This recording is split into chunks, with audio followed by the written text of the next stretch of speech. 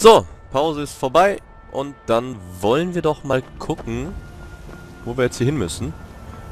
Denn äh, wir waren ja hier nach Rorikstadt gekommen, glaube ich, um mehr über unseren Gedächtnisverlust herauszufinden. Ihr. Ihr habt ja Nerven, euch in dieser Stadt nochmal blicken zu lassen. Was habt ihr zu sagen? Ich hab zu sagen, dass hier unten kein Text mehr steht.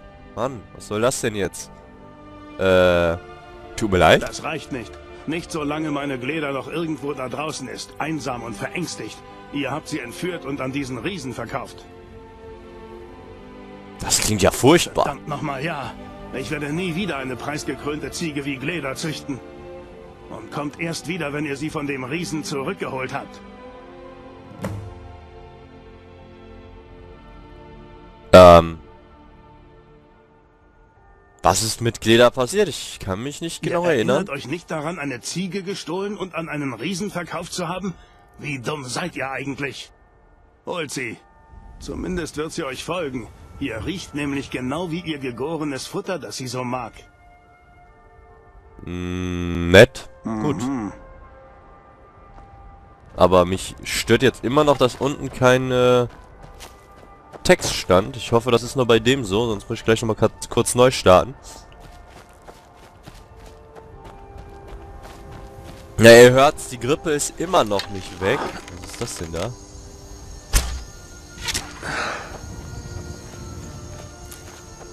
Nervt mich auch noch tierisch.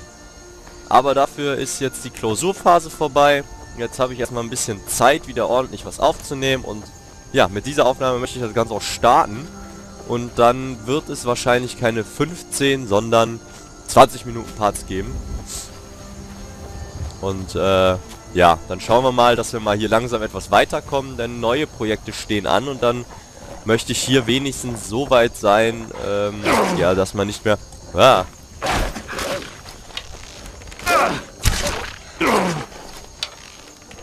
dass ich nicht hier wirklich äh, jeden Tag noch eine Folge hochladen muss. Also das heißt muss, ne, aber...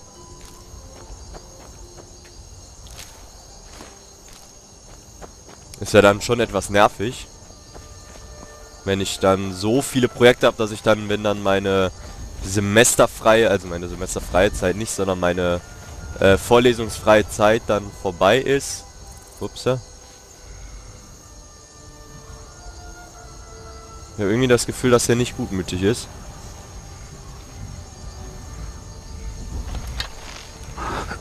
Ja, wir machen es erstmal auf die normale Tour. Hi Riese. Äh.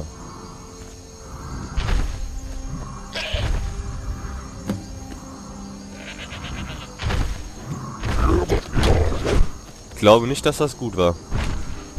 Glock. Leg dich nicht mit dem Falschen an, Glock. Ah ne, der heißt Glock. Ich habe Glock gelesen. Ähm.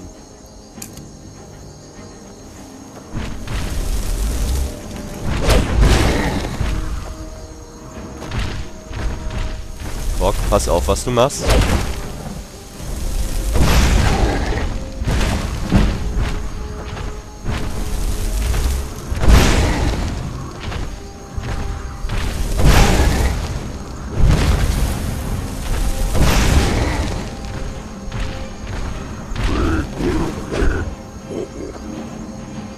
Ach, Grog, ach, Grog, ach, Grog. Du glaubst ja wohl nicht wirklich, dass du uns schaden.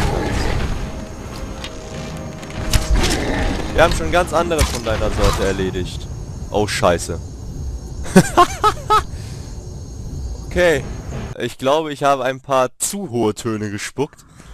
Ähm, jetzt wissen wir aber wenigstens, worauf wir uns hier einlassen und können das ein wenig abschätzen. Nämlich... So.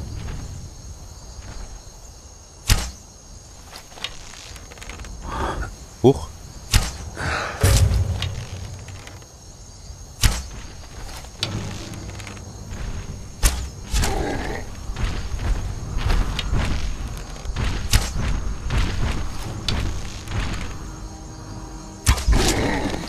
Oh, bin ich gemein zu dir.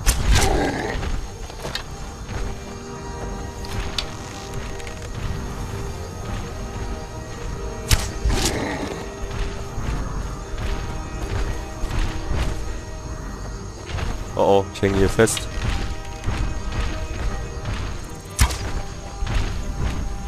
Ja, Leute, ich weiß, es ist wieder ein bisschen Bug-Using, aber mal ganz ehrlich, wie wollen wir den denn auf normale Art und Weise besiegen?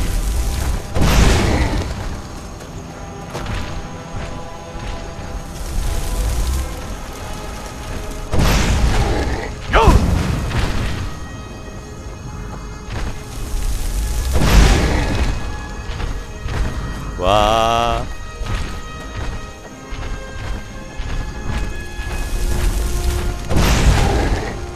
Und noch einen zum Abschied.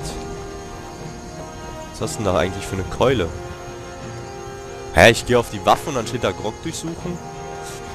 Naja, Granatstein, Fälle, C, wofür auch immer der ist. Und eine Rüstung, die zu viel wiegt. Weil wir müssen wieder verkaufen. Das ist halt typisch wir. Immer müssen wir verkaufen. Was ist das denn da eigentlich? Äh, M? Aha. Eine unentdeckte Stadt.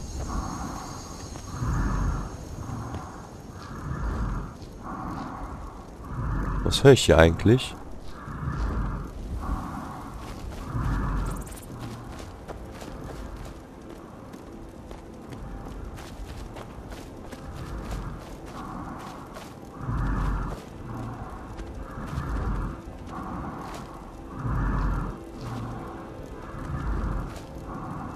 Klingt so, als wenn der Riese hier angeblich noch stehen würde. Da haben wir den ja gerade umgebracht. Sehr lustige Geschichte. Wie ich finde. Na, Ziege, kommst du hinterher? Ja, gut. Soll ja nicht heißen, äh, wir hätten dich nicht zurückgebracht. Wenn wir es ja gerade machen. Und hops.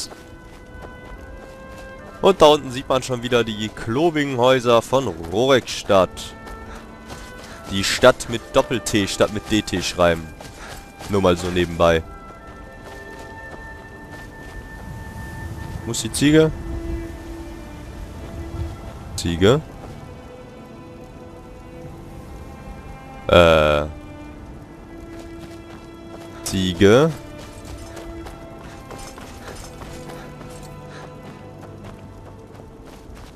Okay, hier liegt äh, Eisenerz.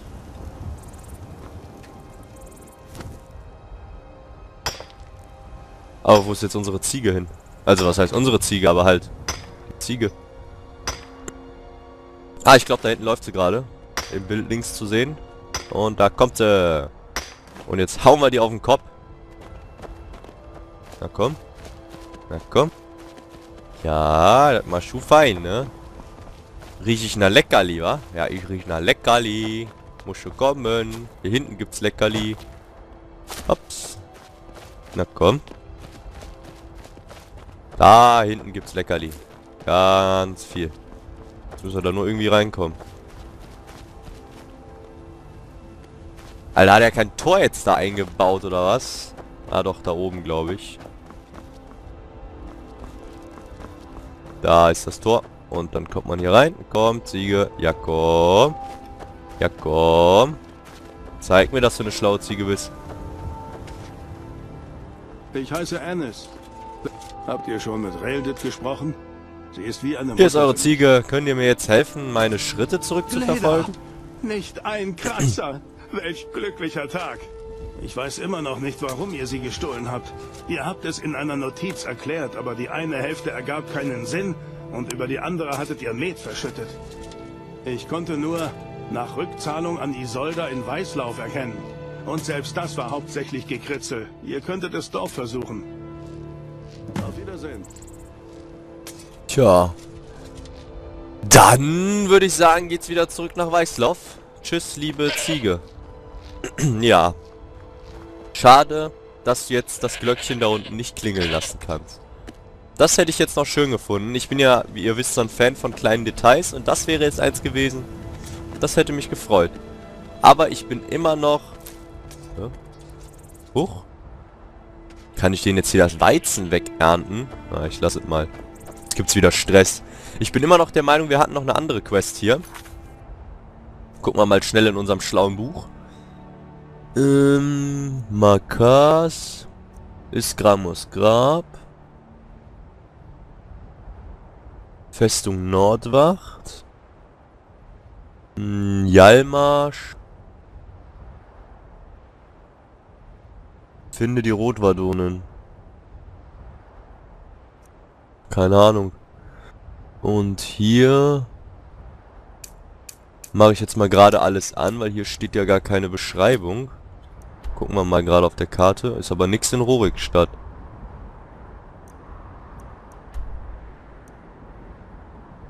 Oder sind die jetzt gerade gar nicht an? Ja, ich habe die doch hier angemacht.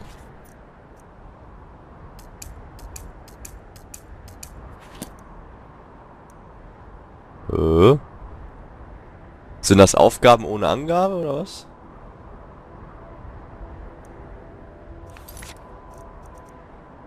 Verschiedenes.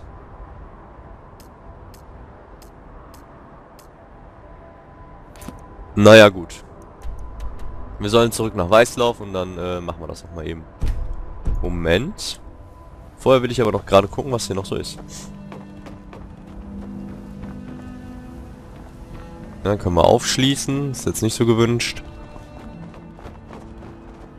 Was ist hier? Auch aufschließen. Na wartet, Du hast einfach eine Wache. Ich werde es niemandem sagen, wenn ihr meine? Schwester... Wie gerne ich habe wäre euch ich gesagt, dass ihr den wie Garten ihr. bis Sonnenuntergang gehen dorthin gehen und Wenn ihr daran denkt, euch als Bauer niederzulassen, seid ihr hier am richtigen Ort. sollt. Okay. jetzt, lasst mich in Ruhe. Wie schützt ihr euch vor den Wie Drachen? könnten wir? Wir sind eine Gemeinschaft von Bauern, keine Kämpfer. Wenn der Krieg nicht wäre, hätten wir im Fürstentum genug Wachen, um die Siedlungen zu schützen. Dass die Drachen ausgerechnet jetzt zurückkehren, ist äußerst bedauerlich. Wieso lässt sich ein Bretone wie ihr in Rorikstadt nieder? Habt ihr Rorik schon kennengelernt? Er besitzt dieses Land und ist der Namenspate unseres Dorfes. Wir sind schon seit vielen Jahren befreundet. Rorik hat während des Großen Krieges für das Kaiserreich gekämpft. Er wurde schwer verwundet und wurde darum zu mir gebracht. Damals war ich ein Heiler, wisst ihr. Wir standen uns so nahe wie Brüder. Und als Rorik nach Hause zurückkehrte, ging ich mit ihm. Ich bin froh, dass ich meinen Lebensabend hier mit einem guten Freund verbringen kann. Ah, eure Bauernhöfe florieren, trotz des rauen Klimas. Was ist euer Geheimnis? Wieso glaubt ihr, dass dahinter ein Geheimnis steckt? Hier gibt es keine Geheimnisse, mein neugieriger Freund.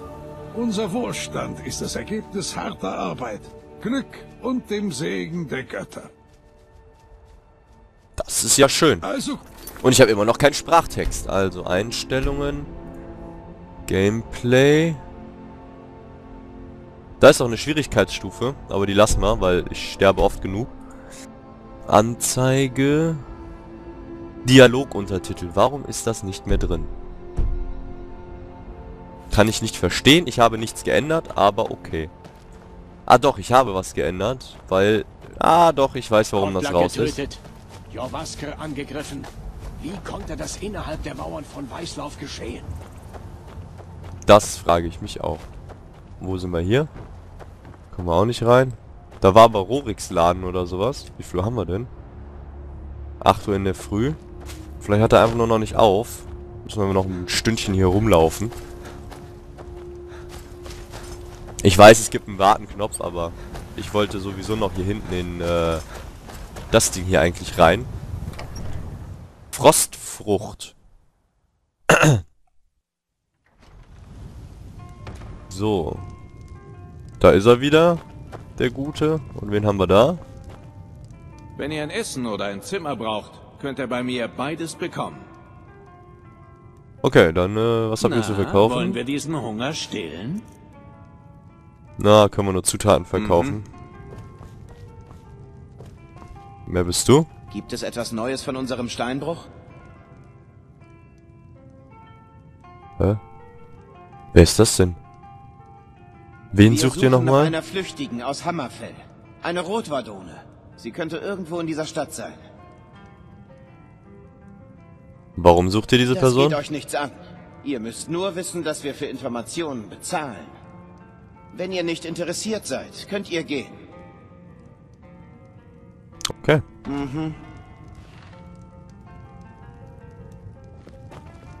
Stehlen. Eine leere Truhe stehlen. Ja. Bringer, Leute. Gibt es etwas Neues von unserem Steinbruch? Ist etwas Neues von unserem Steinbruch. Was für ein Steinbruch. Hör auf, mich so dumm voll zu quatschen, du. Pappnase. Warten wir mal ein Stündchen. So. Gucken wir, ob wir jetzt ein paar Läden offen haben. Vielleicht sind das hier Spätaufsteher. Ne, der nicht, aber vielleicht der da oben.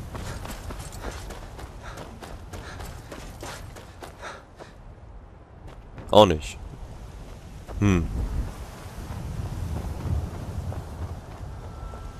Rennt eigentlich das Kind die ganze Zeit von links nach rechts? Was soll das denn jetzt? Ich sehe die doch jetzt gerade zum fünften Mal daherlaufen. Na wartet, ihr werdet noch eins aufs Dach bekommen, Sissel. Warum? Was habe ich denn getan? Den haben wir hier. Vorsicht! Wir wollen doch nicht, Lemp dass sich hier. noch jemand verbrennt.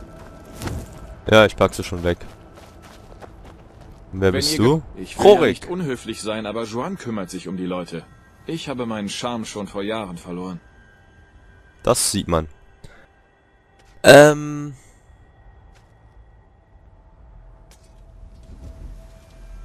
Hat der Krieg von eurer Siedlung und ihren Bewohnern seinen Tribut Bis gefordert? jetzt noch nicht, es ist aber durchaus möglich.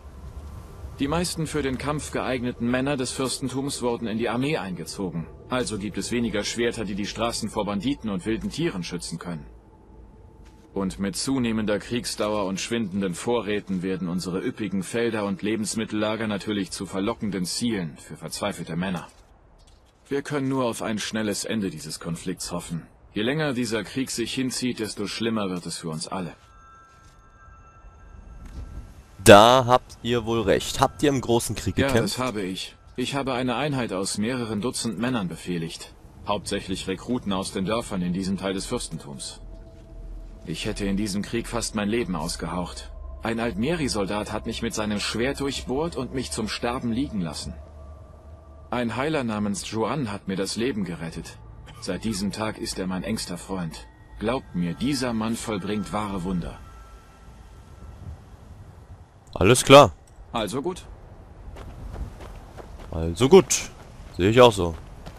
Hier scheint es wirklich nichts zu geben, oder Erik? Sieht aus, als hättet ihr schon so manches Abenteuer erlebt. Ich beneide euch darum. Ihr könntet mir vielleicht sogar behilflich sein. Was braucht ihr? Ich will auch Abenteuer erleben, so wie ihr. Aber mein Vater hat es mir verboten. Er sagt, dass ich hier bleiben und auf dem Bauernhof arbeiten muss. Und selbst wenn er es mir erlauben würde, Abenteurer zu werden, könnten wir uns keine Rüstung leisten. Er heißt Mralki und ist hier der Wirt. Hoffentlich könnt ihr ihn umstimmen. Ah, ich werde sehen, was ich Danke. tun kann. Ich ertrage den Gedanken nicht, für den Rest meines Lebens in diesem Dorf gefangen zu sein. Gut, dann reden wir doch einfach mal. Reden wir doch mal mit Mralki. Die haben mir so tolle Namen. Ist mir schon mal aufgefallen. So, bist du ihr- Mralki? Ich nehme nur Mralki. Keine Tauschgeschäfte und nichts umsonst.